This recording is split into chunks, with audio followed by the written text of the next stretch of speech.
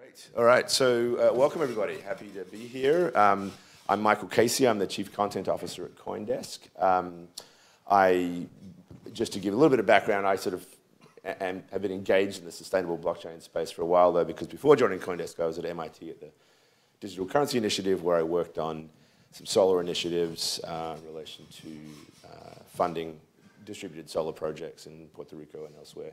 So it's always been a passion of mine. Uh, so I'm very happy thank you, Mark, for dragging me back into this space. Um, also, just as a, a plug, um, the Money Reimagined podcast that I do weekly with Sheila Warren, formerly of the World Economic Forum, now of the, uh, the, the, Council for Crypto Innovation.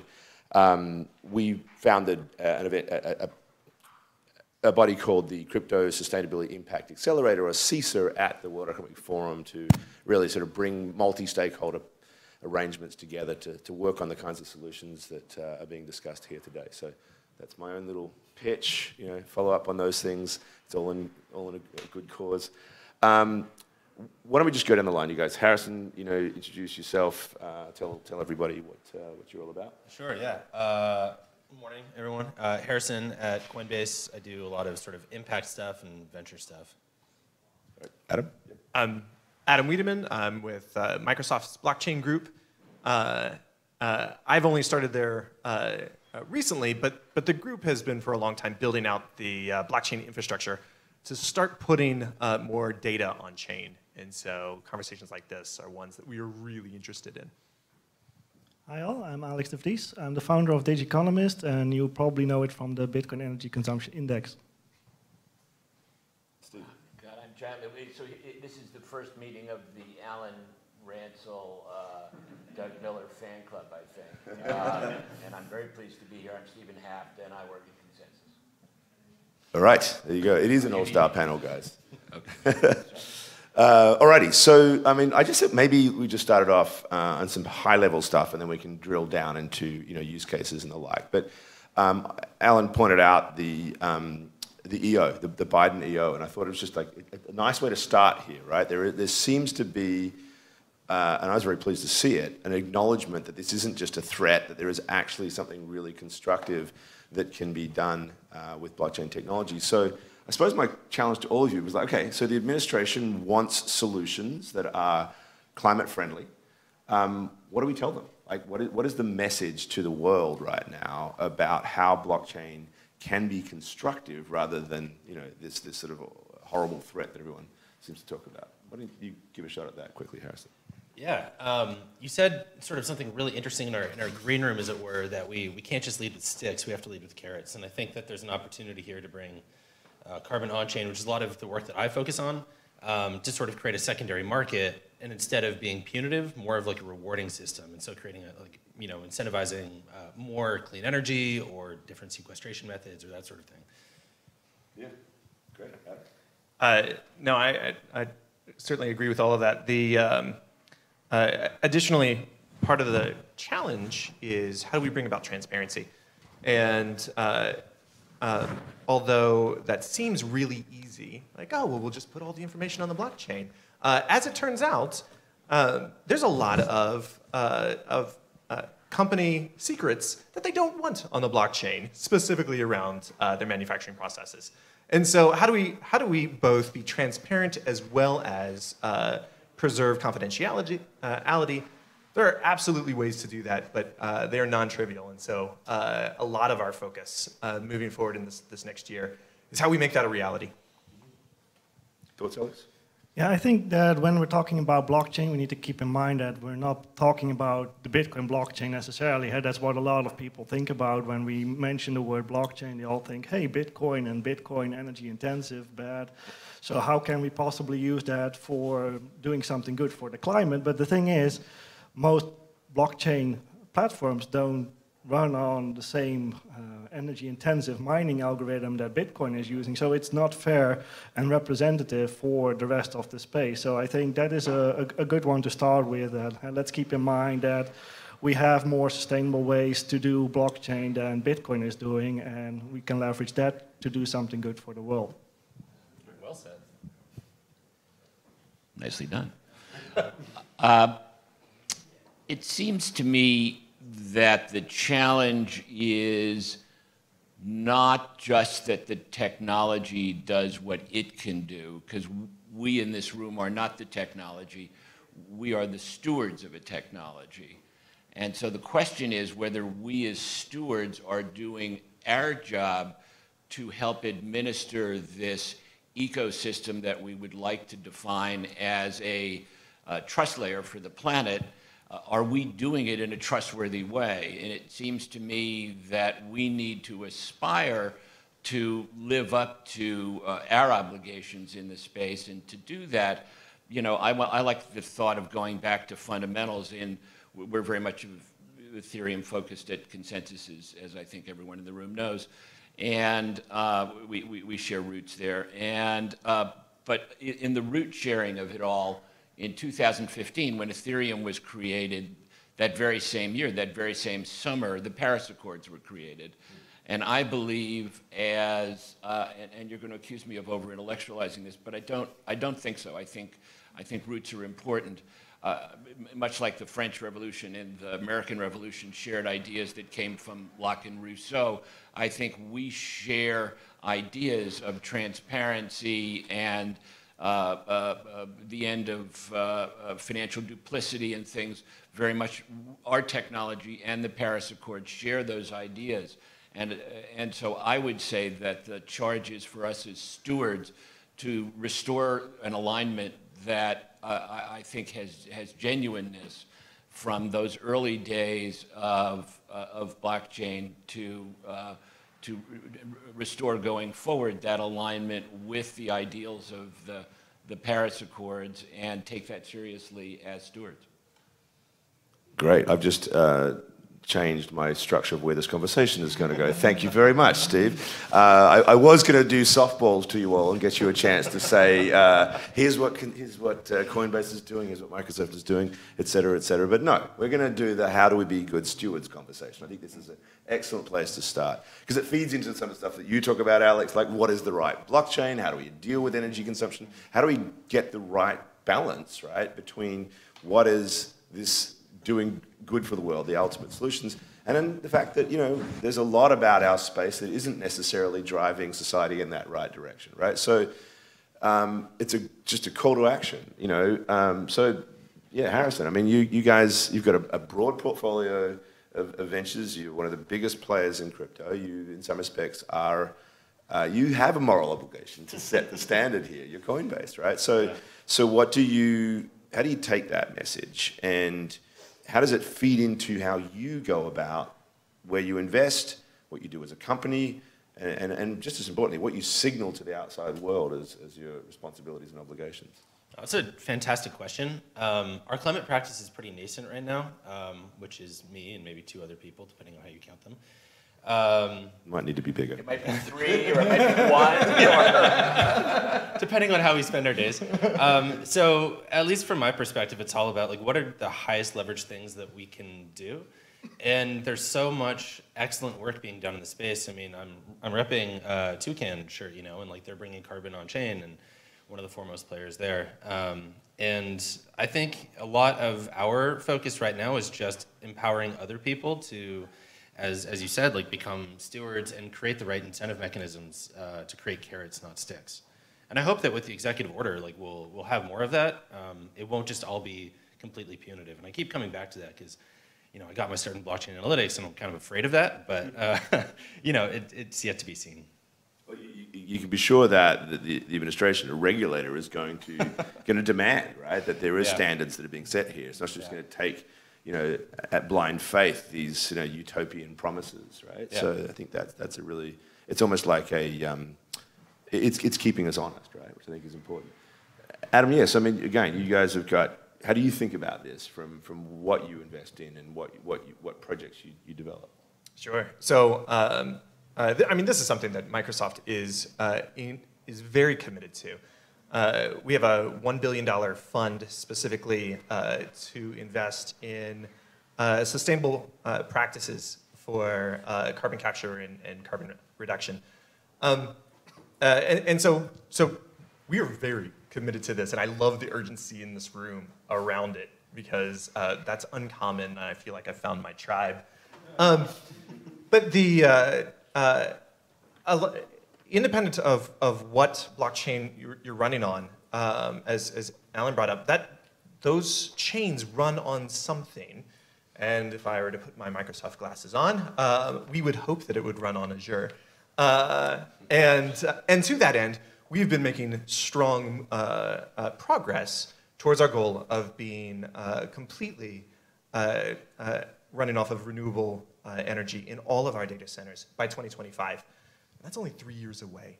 So there's a lot of work uh, that, that, we've got to do uh, to get there. But, but we, are, we are aggressively moving towards it. Um, and so, so, so that's, that's the first part. How do, we, uh, how do we make what we're doing today in crypto more sustainable? But beyond that, how do we, how do we really take a, um, uh, a data-backed approach to tackling uh, scope three emissions? right? Scope 3 emissions, which is, for those who don't uh, know, that's, that's everything upstream and downstream of, uh, of, of, the thing that you're actually producing, right? And so are we responsible for, um, for uh, devices and energy uses once it's in a consumer's hand and out of ours? Well, yes, yes, we are.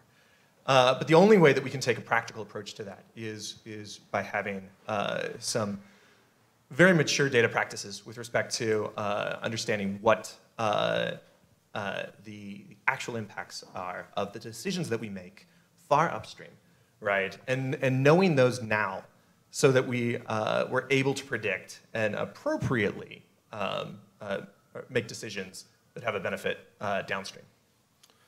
Okay, um, I want, really want to get to the scope three emissions because I think it's an interesting, it, it, not only just an important challenge, but I think it also, in some respects, speaks to the some of the stuff that Alan was talking about, the sort of the sheer impossibility of measuring these ecosystems with these outdated tools, right? So that once you talk about the different stages of a supply chain, the world becomes incredibly complex. Um, and so we'll get to that. But let's stick with this for the moment let's get to the blockchain. Which blockchain? What type of consensus algorithm conversation? Because Alex, that's you know something that you've brought a lot of attention to. Um, you know, would you? You know, you've been a very outspoken critic of of uh, Bitcoin and its energy consumption. Um, what should the community be doing in response to that? How do we how do we deal with that? I mean, I, I don't personally think Bitcoin is going to go away anywhere. Um, and in fact, there's an argument to say that if we were to shut it down in one place, it would simply move to a even dirtier place, right? And you mentioned Kazakhstan, that may be an example of that, right? So how do we deal with this, right? How do, and, and with this conversation of carrots versus sticks, what's your take on, let's start with proof of work and then we'll bring Steve in to talk a little bit about Ethereum and its migration. Um, how do we deal with the Bitcoin problem as you see it? And I mean, some people would argue it's not a problem, but you can take that from there.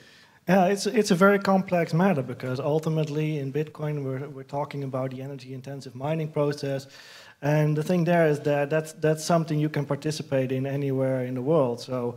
Uh, we saw that previously a lot of that activity was taking place in China. China last year said, okay, we don't want this in our country anymore, and uh, these miners are responsible for the revival of some of these idle coal mines that we have, so uh, uh we're done with it, we, we're going to kick it out. And then the next thing we see happen is that a lot of those miners are indeed migrating to places like uh, Kazakhstan, but also here in the US. And uh, as a result of that, we even see the carbon intensity of the network going up even further. So you can say, well, ban, banning crypto uh, mining in one place is, is probably not the right solution, but then you can really wonder uh, what, what is the right solution. And it's, it's, it's really tough to come up with an ultimate answer that, because of what I just said. It's something that you can ultimately do in every household. Everyone can put a Bitcoin mining device in their own house. And hey, I wish you good luck with cracking down on that if you're a government. hey, are we going to raid everyone's homes? I don't think so.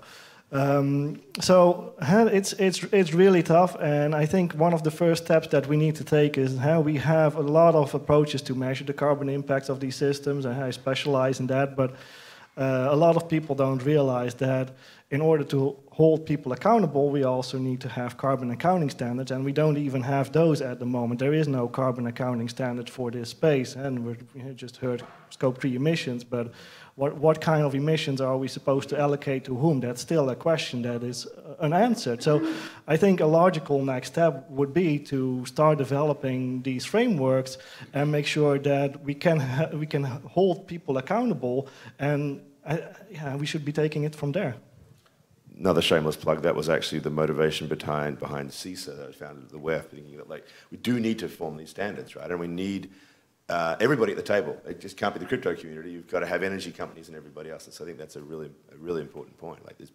base understanding about what we're actually measuring and what we're, we're taking on. But let's stick with this, um, Steve. You know, as, as, a member of the C-suite of Ethereum Inc. Sorry, that's a joke. Uh, ConsenSys. um, uh, you know, obviously the migration uh, to, to, proof of stake is, is a critical part of, of I think, you know, the Ethereum community's um, efforts to, to, to I'll, I'll answer it. I'll, I'll answer yeah, it go before ahead. you ask it. Okay, go it, it's, the answer is it's not enough. Okay. And, and that's the most important point I can, I can urge my colleagues who have any relationship, uh, Filecoin has a wonderful relationship, to the Ethereum community is that proof of stake isn't enough. I, I talk to my colleagues on the engineering side, and they say, they speak as engineers, well, we've fucking solved it, right? I mean, what else do you want? Right, yeah and and and and and in the carrot and stick of it all, we've just heard from the stick because as yeah. close to the stick as exists in our space is Digiconomist. it is. and and and he is the measure. And and now this UCL thing has just come up, which is interesting. Uh, and and and we, have taken the time to rerun those UCL numbers, and and they're interesting numbers. The I would say I, I I'd say this. Number one, proof of stake is not enough. It's just the beginning. Number two, we need to take pages from each other's books. Uh, I, I, take a page from the Microsoft book. I think uh, Brad and, and Lucas uh, uh deserve a tremendous amount of credit, uh, and I, I, do think it actually probably starts with Bill Gates, um, who, for all the goodies he has in the world, we can actually give him a little more credit even than that, which is to say, I, I think the leadership to declare Microsoft that we are not just going to clean up our current footprint, but we are going to clean up our historical footprint, mm. uh, I, I, think is a movement that, that I think should be credited probably as, to some degree starting at Microsoft and needs to permeate everywhere, including the crypto community. Um, so proof of stake is just the beginning. I think we have to look at what, you know, what, what we've wrought and take responsibility for it as, quote, stewards and, and, and address it. As a company, we're going about it in a variety of ways. Uh, uh, we have the, the full intention, and I expect we will achieve it, of, of, of operating on a carbon zero basis starting this year. Um, or, or, carbon neutral space is the best we can achieve, I think, starting this year. But over time, uh, especially thanks to proof of stake, I think we can get there. We've run the UCL numbers. Interestingly, I, I know that was a sort of blip in the press. Um, I think they actually proved 99.5, that we're going to get to 99.5 if, if we use their numbers, uh, which is great, but that's going to leave 0.5% of friggin' Netherlands. Mm. So we we still have something to do on a go-forward basis. We are working with the UNFCCC in Weirdly enough, the Paris Accords are based in Bonn. Welcome to the New World. and um, we work very closely with them in a variety of areas where we think blockchain can make a difference. One is uh, in greening the green bond space. Green bonds is a source of cheap financing, was 500 billion dollars in financing last year, 300 billion the year before. It's not greening anything. so uh, our, our goal is to work on, uh, as you, you know, we do a lot of work in the sort of fintech space. Uh, one, one of the fintech projects is going to be to work to see if, what we can do to help green the green bond space. Uh, another project that we're working on is we have built a, uh, a carbon credits on blockchain trading system. Um, uh, it, Toucan was mentioned. Toucan is a terrific organization. I can say that Toucan got its first money from the uh, Blockchain Social Impact Coalition, which, which ConsenSys helped to launch. I was actually on the uh, hackathon committee that gave Raphael his first money. Nice. Toucan became Toucan. It's great. So you figured out how to move what is a data-based financial asset, a carbon credit, and move it over into onto our ledgering system, which is which is a great beginning. We're we're looking to sort of now uh, automate the trading side of all of that, and and and thirdly, we're looking to play uh, our part as Ethereum Inc. Nice joke, but the, the truth is we, uh, you know, Joe Lubin, uh, uh, who I have the uh, privilege to work with, uh, sees his role both in a business and a movement of sorts. And obviously I take that pretty seriously. I think we have the opportunity to go from laggards to leaders in this space. This precisely this year, because you can't clean other people's houses till you cleaned up your own. And I think after POS, we have an opportunity to be the, the leaders for the first time we, we, we, well, we need to be. You're doing a good job of, again, making me rethink my, my direction of this narrative here every time Steve is like, And you're freaking MIT, man. I'm barely got out of high school. That's right. Can't keep, can't keep to the script. Uh, and, and the thing that suddenly got my attention there was you referenced Microsoft and its own corporate commitment, right? And uh, if Paul Brody, who was going to be here, were here, he would be jumping up about this, right? Because there is, Paul talks about how much treasury money is sitting at responsible companies like Microsoft and Apple and others that is absolutely committed to these zero carbon targets, right? They don't know whether to put it. They don't know how to put it. They, they're desperate to find assets that can return this, this need. Good. Well, let's hear, hear from you at the, at the, at the end. Get some questions. That'd be great. Um, and, and so, like, and I think one of the things that Paul, you know, has been interested in exploring, you know, is how do we take the, the flywheel effect of speculation and energy that really is DeFi and crypto, right? It's about making money. And how do you sort of tie that, align that with this, this huge investment possibility? Because we need trillions of dollars of investment to, to, to get the world into a safe space. So thoughts on that? Like how do we take crypto, what crypto is really good at, a bunch of things, but what its, its first use case is speculation, right? It's done a really good job of driving speculation. How do we align that with investing in, in, in you know, what we need as a planet? Go for it, yeah. I think that's a great question also. You have a knack for asking like tough, good questions. Um, I, uh, I'm talking to like a couple folks who are more on the Web 2 side of things and you know, the, when you bring the carbon markets on chain, of course, there's like, you know, upgrades in market efficiency and that kind of thing. Um, and, you know, a lot of the solutions are around like, how do you sort of almost leverage the current price or the future price of carbon to then fund like the carbon initiative to go get the credit and that kind of thing. Um, and that's something that I'm still kind of sitting with because, as you said, sort of on the speculative angle, I mean, that's effectively just trading carbon futures uh, leveraged. Um, and and who loses out on that? So that's that's definitely something that we need to think about a lot more as an industry. I mean, I think there's too much speculation in DeFi, I guess. Mm-hmm. Um, well, I suppose like maybe to you, Adam, like like um, how do we make these? How do we make real assets on chain investable, right? As opposed to you know speculating on carbon credits and the like. Like the the idea that we'll take, and we saw some presentations before about like you know provable renewable energy and, and the like, right? Um, some of the work that you guys have been looking into, how do we take these things and make them investable?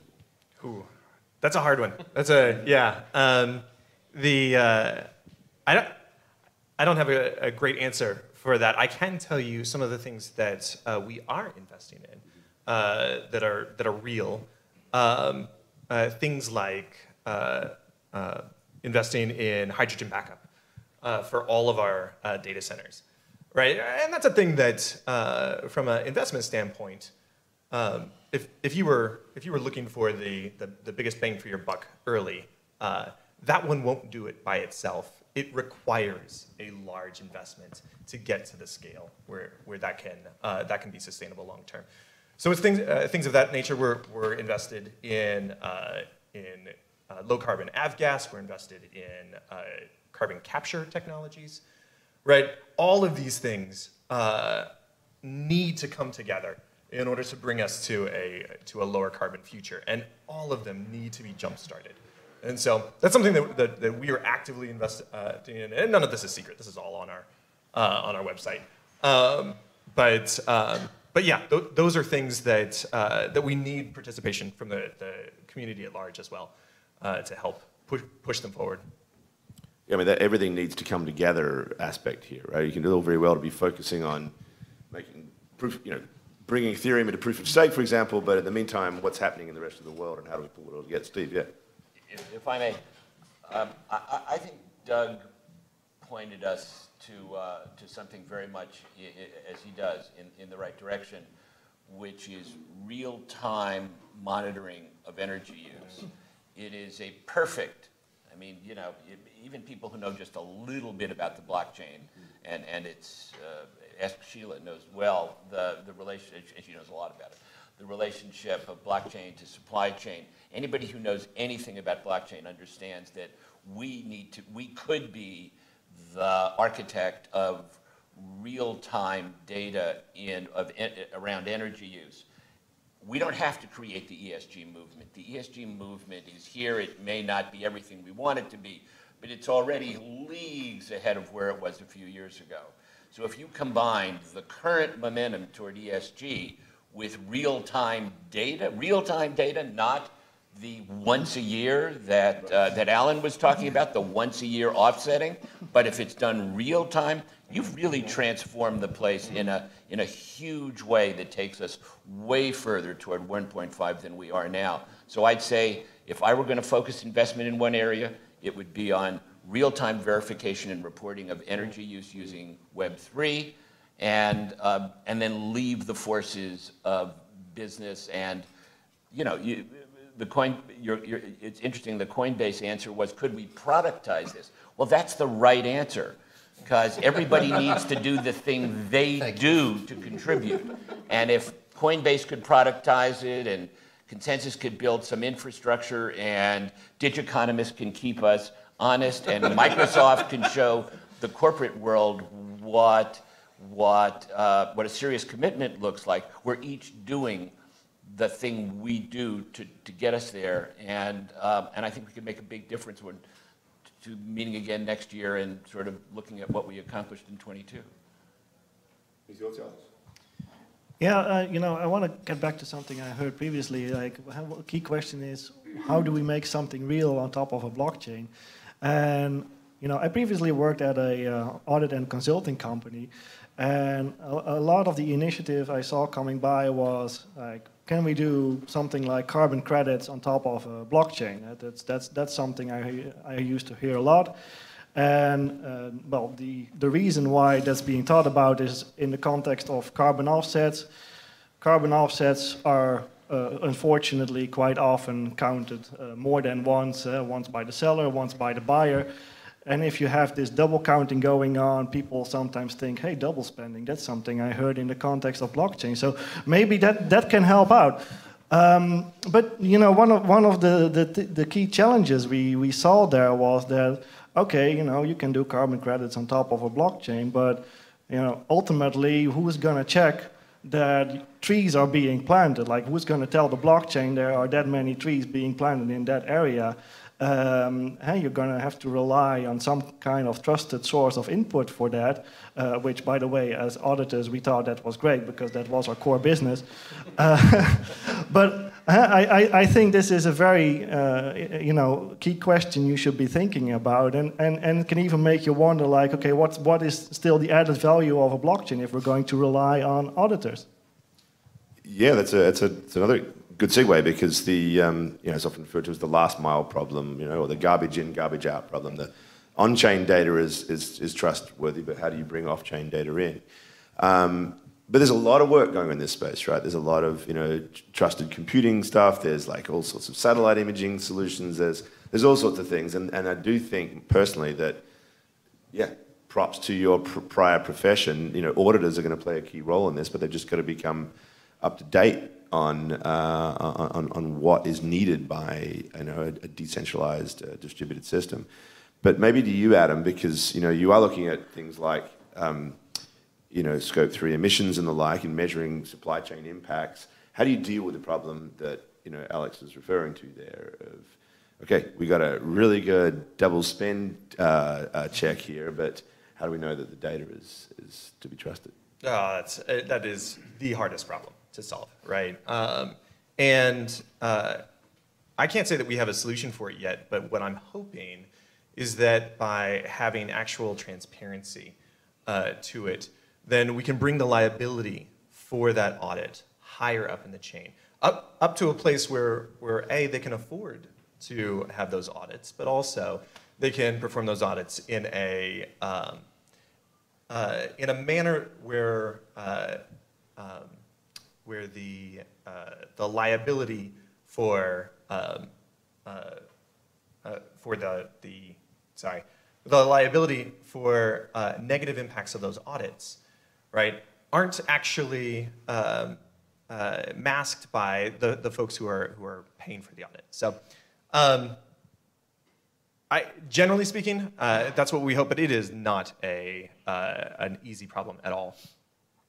Any, any thoughts on, on this, Harrison? I mean, I, I was struck by, in a completely different context, um, uh, um, the fact that the, the, the, hacker of the DAO was, was, was caught six years later, right? And, and one of the messages, you know, Laura Shin, I don't know if you've read the book, but um, I'm not sure that Joe is necessarily advising people to read her book, Steve, but uh, she... He did in Denver. He did? Oh, good for him. Good for him. It is a great book. But she, she you know, the work that she did afterwards just demonstrated once again that uh, ultimately on the blockchain there's nowhere to hide. And, and to me, that strikes me as possibly an answer to this problem, right? Because you will get caught eventually. There, there, isn't a tra- there is a transparency and a traceability that makes it harder, at least, to hide. So I don't know if you've thought through any of that and you know, how you go about what your strategy is with regards to the data problem. What I keep coming back to, and we've talked about sort of like verification, like how do you make sure that the tree's been planted and haven't been cut down once they have been planted. But um, the thing that I keep coming back to is that so many of these solutions are effectively trading on the future price of carbon to finance the current sort of reforestation or afforestation project. Um, and in some respects, I mean, you know, blockchain is magic internet money, and so they could just fork Ethereum and after the DAO hack, but you can't do that with the climate. So, you know, it's, it's an incredibly hard problem. Um, no thoughts. Yeah, well, well but, but, one thought is satellites, of course. I mean, if, yeah, y- if yeah. U-2s in 1962 could see a single missile on the Cuban island, then satellites today can count trees, and it's just a matter of connecting to the data. I think I, I, I could be incredibly naive. You're all way ahead of me in like science class, but but I have to believe this is possible. Well, the um, you know the, the organic in, uh, industry had a similar problem. How do you validate that something was grown organically? And uh, what they ended up doing was was uh, exactly what Michael uh, was alluding to, where with enough data you can prove it. And so essentially, rather than uh, relying on audits of the field of all time to make sure that there's no chemicals there that shouldn't be there, which which there are audits, uh, the majority of the data comes from much water was, was applied to those plants and, uh, and, and what was the amount of produce that came out, right? And with uh, uh fertilizers that shouldn't be there, you can see how those things don't add up, right? And that same, that, that is uh, absolutely going to be true in our industries as well, right? With enough data, we should be able to correlate uh, whether people are actually following these practices or not. Yeah, yeah. It's, it's that whole sort of almost ecosystem-wide big data approach to things that sort of, you know, if we think if we're focused on the end point, yeah, it, it, it can be gained, right? But this once you've got a, a bigger picture, it becomes much harder to hide. So I think we open up to questions. Is that the plan here, Angie? Um, what's our uh, toilet? Yeah, we've got a little bit of time if you're 10 minutes. Ten minutes, yeah. I was, wrapping up in 10 minutes, right? So, Thanks, Pete. Uh, you wanted to no, offer up some idea. Yeah. Quick question. Um, I, uh, I grew up in Austin. I grew up in a oil and gas family. I'm one of the few, few oil and gas people that believes in climate change. So 100% believe in sustainability. Uh, I'm one of the founders of Pump Jack Power. We're a, we are a power provider here in the ERCOT market. we recently just spun out a company called Crypto Power, the first and only power provider powering the blockchain. Outside of what the blockchain does stabilizing the ERCOT grid, a question I have to you guys is of how you view sustainability. I just helped a uh, mining group basically build a mining facility at a natural gas plant. They are essentially taking the CO2 produced from that gas plant and recycling it to cool their, their operations. So I think from a standpoint of, I love green energy. I, I totally believe solar, battery, wind in the right markets, nuclear long term. But our, our approach, my question is, in terms of you know, not demonizing fossil fuels, how can large operators look at natural gas or some type of fossil fuel situations and approach them with sustainability solutions? Anybody want to take that? I'm not smart enough to come up with a constructive answer. Wildly unqualified. Uh, you know, the, the, the thing is, uh, when, when we look at Bitcoin miners and, and you know, there's, there's so many different examples of how they're using energy and, one of those examples is uh, the, the, one popular uh, one recently is uh, they've been using uh, gas that would otherwise be flared, and they're saying, okay, uh, this is uh, good for the environment, we're reducing emissions that way. Well, um, that's certainly not true because you're still combusting the gas to generate electricity, so ultimately the efficiency of that should be more or less the same. But you can, you can still make the argument that, well, in any case, you know, whether we're going to flare it or we're going to combust it for generating electricity for Bitcoin mining, at least the impact is the same, how we're not worsening any impact. Um, and you can actually think of that as a, as a great argument, but the only issue is that how we, we're also seeing a lot of initiatives right now to just completely uh, prohibit uh, routine flaring. Huh? There is a zero routine flaring initiative hoping to end flaring uh, altogether by 2030. New Mexico recently uh, decided just last year to uh, prohibit flaring as of 2026. So uh, companies are going to be required to capture the gas. instead of flaring it, and you know, if you're capturing it, you can also use it to displace some kind of other fossil fuel source. So in that case, you're hey, you're not making things worse, but you could have used that captured gas to make things better.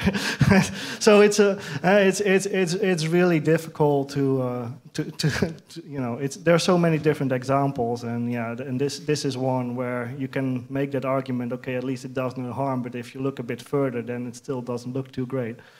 If I can go rogue for a second, um, Doug is still in the room. Uh, green hash rate solution. Can you just uh, take one minute and describe what some Bitcoin folks are doing around what they call the green hash rate solution? Sure. Can you hear me okay? You still got a mic. Yeah. Oh, okay. Make sure he gives it back. hey, Paige, get it back from him before he goes.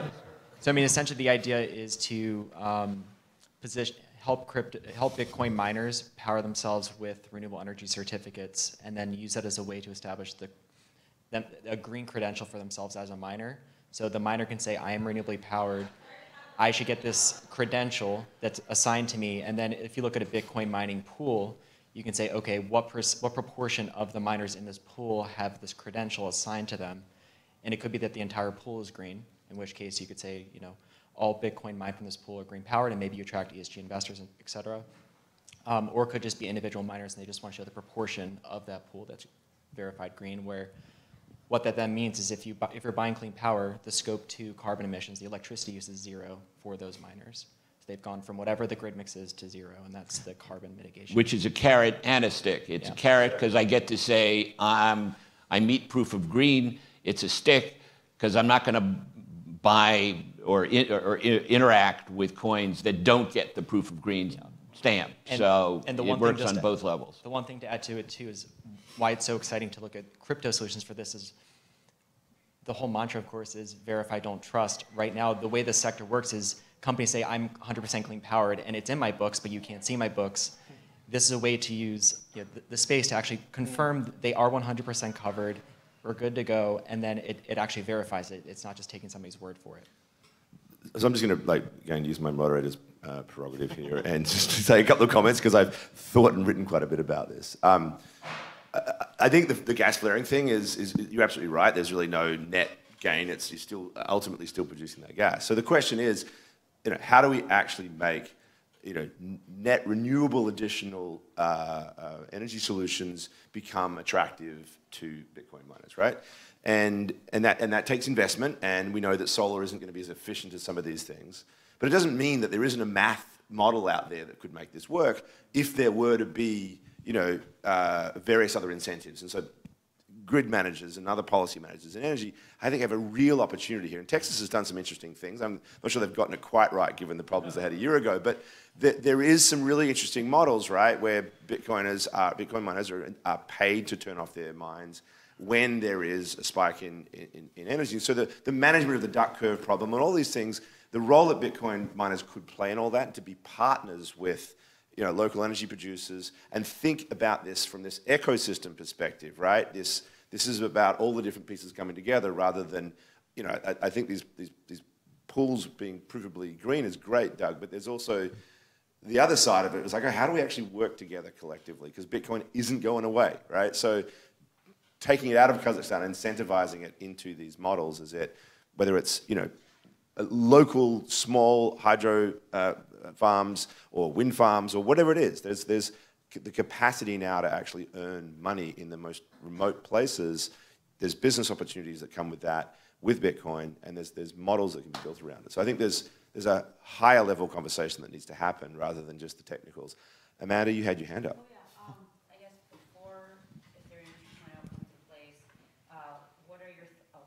Before Ethereum 2 comes in place, what are your thoughts on other ways we can make NFTs uh, more sustainable? Is it carbon offsetting? Is that enough? Other thoughts on that? Yeah, we haven't mentioned NFTs. Um, I, I run um, Metagood. Uh, Metagood, which has on-chain Monkey. We are all on-chain in a single tra- um, Ethereum transaction, which is slightly better for the environment. We're still running on ETH, so we're trying to think of as we work with other collections, what else can we be doing to be more sustainable as an NFT collection? Maybe.